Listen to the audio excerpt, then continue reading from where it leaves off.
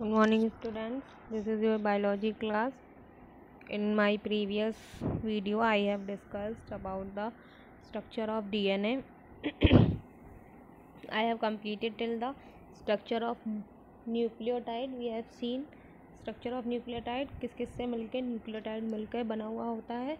Nitrogenous base sugar और phosphate group से जब तीनों ऐड हो जाते हैं, तब उसको एक न्यूक्लियोटाइड कहा जाता है। इसी तरीके से जब बहुत सारे न्यूक्लियोटाइड आपस में अरेंज होते हैं, तब उसको पॉलीन्यूक्लियोटाइड कहा जाता है।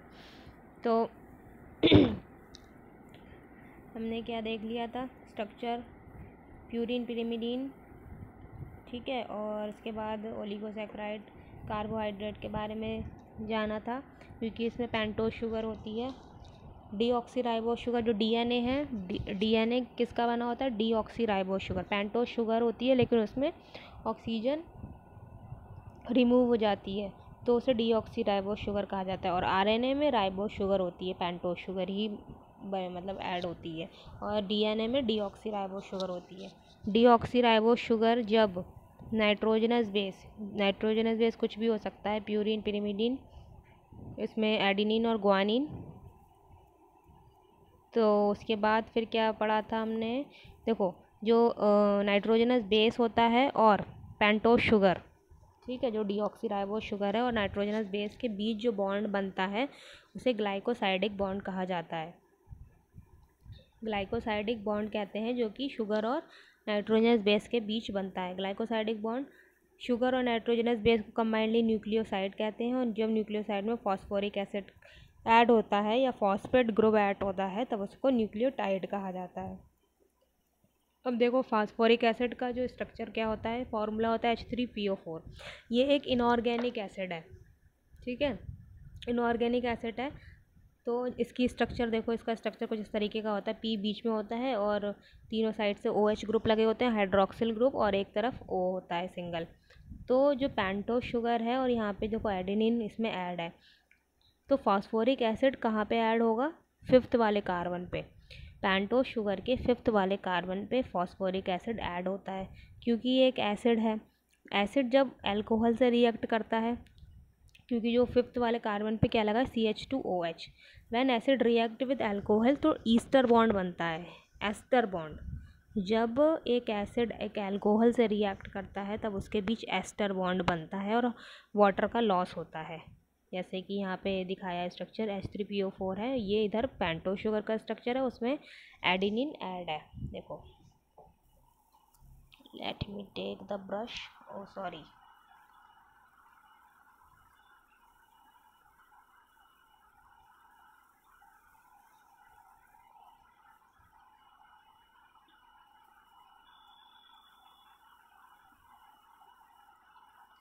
see here.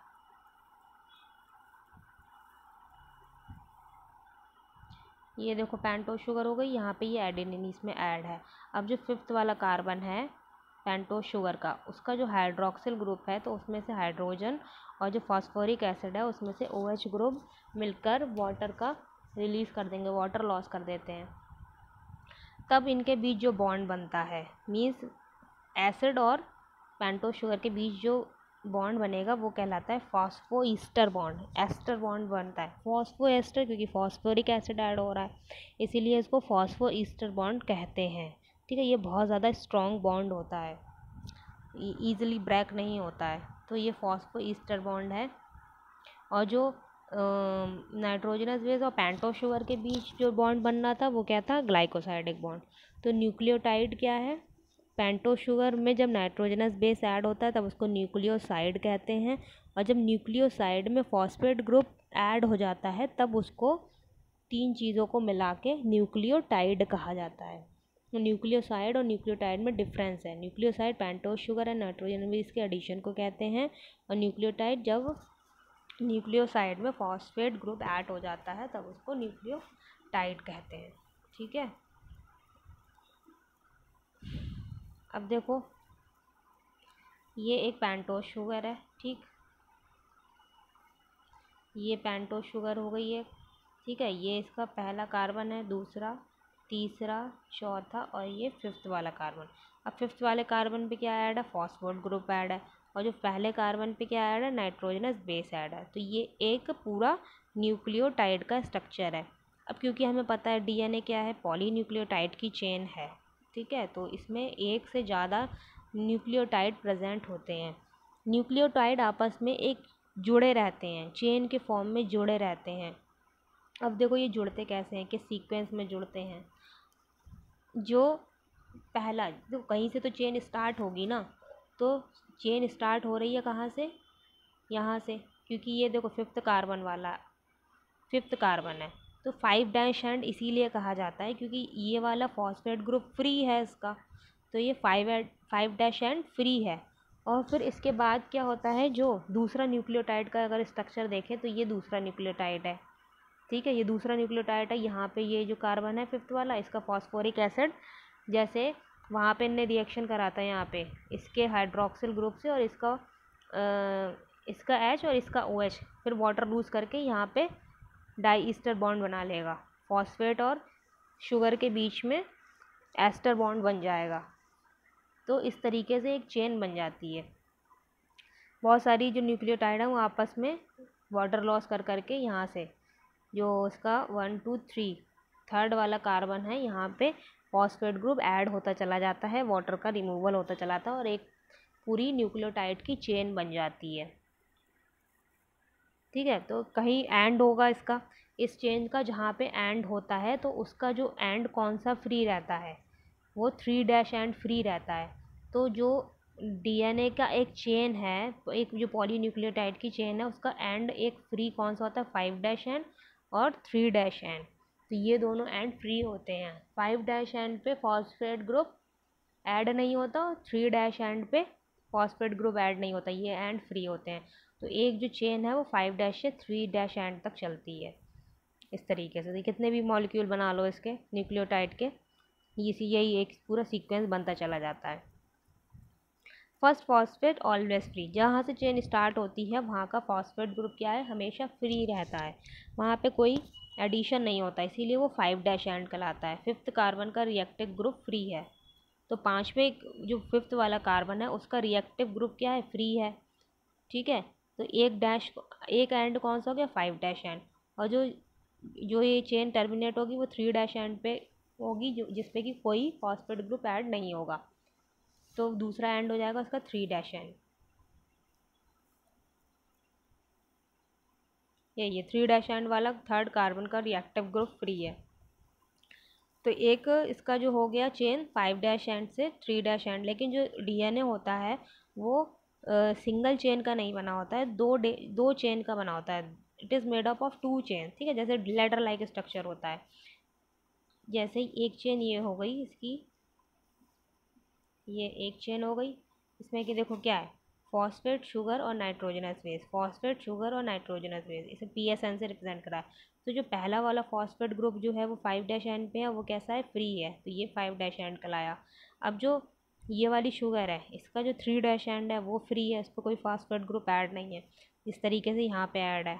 तो ये थर्ड कार्बन पे ये फॉस्फेट ग्रुप ऐड होता चला जाता है। और जो लास्ट वाला पेंटोश मतलब न्यूक्लियोटाइड होता है, उसका थ्री डैश एंड फ्री होता है। अब देखो, जो एक चेन ये हो गई। एक चेन क्या होती है? एक चेन इधर चलती है। तो लेकिन ये कैसी चलती? सीधी सीधी नहीं चलती। मतलब जैसे यहाँ पे ये बनी है, इसकी सेम नहीं होती है।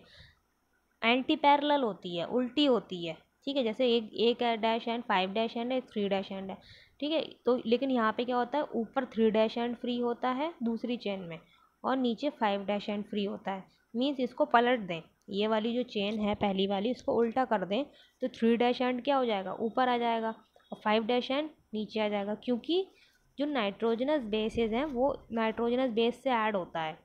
अगर हम ऐसे जोड़ेंगे इसको, मान लिया जैसे पी एस एन है ये, ठीक है? तो अगर हम इसे इधर से जोड़ेंगे तो यहाँ पे तो पी आएगा ना, फॉस्फेट आएगा, नाइट्रोजनस बेस तो आएगा नहीं तो ये ऐड नहीं होंगे यहाँ पे। नाइट्रोजनस बेस नाइट्रोजनस बेस से जुड़ता है, इसीलिए ये एंटी पैरल सीरीज़ होती है, इसको उल्टा करके ऐड कराया जाता है। और जो नाइट्रोजनस बेस होते हैं वो आपस में हाइड्रोजन बॉन्ड के थ्रू जुड़े रहते हैं। हाइड्रोजन बॉन्ड जो होते हैं वो वीक बॉन्ड होते हैं, वो ईजिली ब्रेक हो जाते हैं, लेकिन जो डाई ईस्टर बॉन्ड होता है, जो कि फॉस्फोरिक एसिड और शुगर के बीच बनता है, वो बहुत मज़बूत होता है, वो इजीली ब्रेक नहीं होता। तो जो डीएनए का मॉलिक्यूल है, उसमें तीन तरीके के बॉन्ड होते हैं। एक ग्लाइकोसाइडिक बॉन्ड जो कि पैंटो शुगर और नाइट्रोजनस बेस के बीच बनता है। एक डाई ईस्टर बॉन्ड जो कि फॉस्फोरिक एसिड और न्यूक्लियोसाइड के बीच बनता है। और एक हाइड्रोजन बॉन्ड जो कि नाइट्रोजनस बेस दो बेस पेयर के बीच में बनता है। ठीक है तो तीन तरीके के बॉन्ड बनते हैं डीएनए में। बैकबोन ऑफ़ डीएनए ये एमसीक्यू में पूछा जा सकता है कि बैकबोन ऑफ़ डीएनए क्या है? तो शुगर और फॉस्फेट ये बैकबोन बनाते हैं डीएनए की नाइट्रोजनस बेस नहीं बनाते। बैकबोन क्या है? Important question in the MCQ it can be asked sugar and phosphate are the backbone of the DNA not nitrogenous base bond between sugar and phosphate phosphodiester sugar और phosphate के बीच जो bond हमने अभी बताया था, वो क्या है? फॉस्फोडाइस्टर बॉन्ड है। अब देखो ये किस तरीके से चेन जुड़ी हुई होती है। ये फाइव डैश एंड है, पहला वाला एक थ्री डैश एंड है। तो फाइव डैश एंड पे ये देखो फ्री है फाइव डैश एंड ठीक है, उसका फॉस्फेट ग्रुप किसी से ऐड नहीं है। लेकिन नीचे क्या है? थर्ड वाले कार्बन से फॉस्फेट ग्रुप ऐड है। इसी तरीके से थर्ड वाले कार्बन से दूसरी फॉस्फेट ग्रुप ऐड है।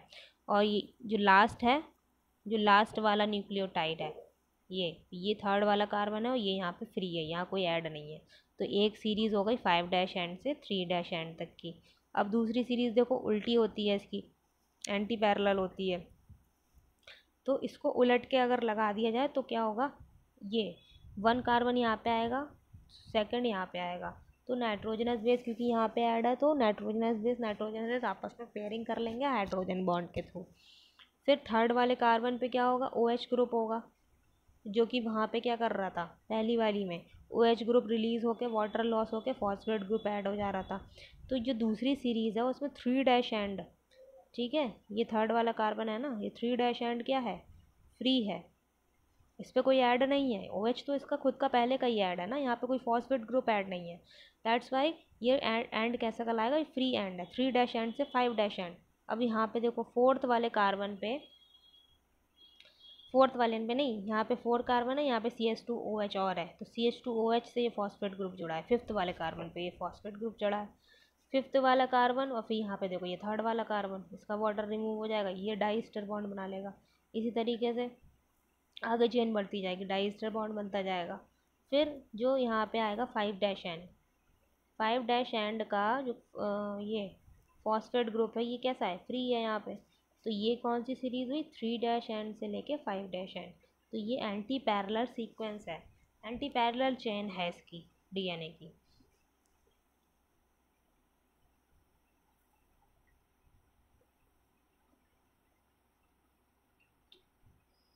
अरे क्या हो गया? देखो। तो एक एक सिरा क्या है? थ्री डैश एंड से लेके फाइव डैश एंड और दूसरा कैसा होगा? फाइव डैश से three dash phosphate free they are not parallel anti parallel parallel नहीं है सीधी सीधी इसमें मतलब लाइंस नहीं है एंटी पैरलर अपोजिट है इनके नाइट्रोजन बेस के बीच हाइड्रोजन बॉन्ड बनता है जो कि स्ट्रॉन्ग नहीं होता है, लाइट बॉन्ड्स होते हैं। फॉस्फोडाइस्टर बॉन्ड कैसा होता है? बहुत स्ट्रॉन्ग बॉन्ड होता है, करेक्टरिस्टिक बॉन्ड है डीएनए का, जो कि बहुत ज़्यादा स्ट्रॉन्ग होता है, ठीक है?